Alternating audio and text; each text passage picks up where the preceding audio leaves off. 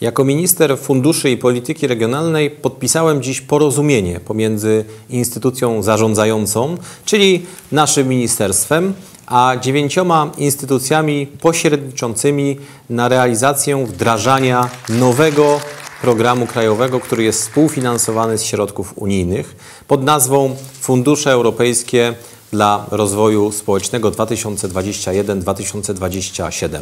W skrócie FERS. To program kompleksowy i różnorodny tematycznie, dlatego zadaniami związanymi z jego wdrażaniem podzieliliśmy się z resortami i instytucjami, które są odpowiedzialne za poszczególne polityki publiczne. Przeznaczyliśmy na wsparcie w ramach programu FERS blisko 5 miliardów euro. Te środki będą przeznaczone dla szerokiej części społeczeństwa. Skorzystają z niego pracodawcy, ich pracownicy, rodzice małych dzieci, osoby aktywne i bierne zawodowe, osoby z niepełnosprawnościami, samorządy, partnerzy społeczni i gospodarczy. Polacy będą mogli podnosić swoje kwalifikacje zawodowe.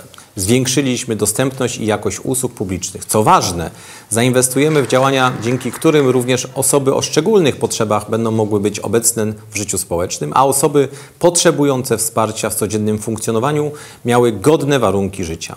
Jestem pewien, że środki EFS Plus wdrażane w współpracy z naszymi instytucjami pośredniczącymi przyspieszą rozwój Polski, a pozytywne efekty inwestycji odczuje całe polskie społeczeństwo.